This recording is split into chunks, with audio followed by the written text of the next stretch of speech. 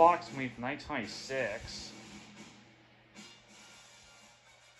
And this movie definitely needs a rewatch because I haven't seen this movie in years. Last time I watched this movie was back in 2015.